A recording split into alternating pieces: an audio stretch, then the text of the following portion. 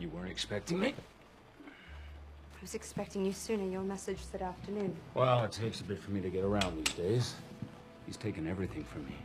My wife, my career, now you. What do you mean? You sent me. I sent you to steal his secret, not to improve his act. That's my job. Or to fall in love with him. I did everything you asked. Yes?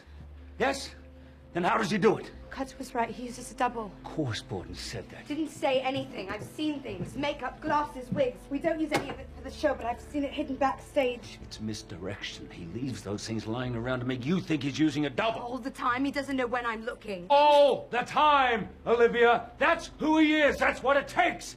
He lives, he's acts. Don't you see? Just because you're sleeping with him doesn't mean he trusts you. You think you can see everything, don't you? The great Danton is a blind fool. His notebook. You stole it? I Borrowed it for tonight. I thought you could translate some of it, but now I know can't. you can't. Olivia, no one can. It's a cipher. Even with a keyword, it would take months to decode. And without the keywords?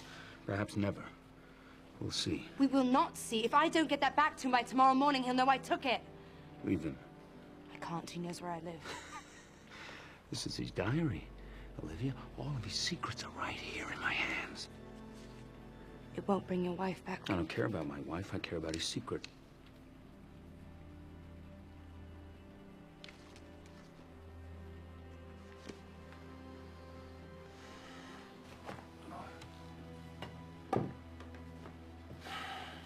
Look, I'll, um... I'll go to his workshop and stage a break-in. No, you took it. Yes, me. Not you. Understand?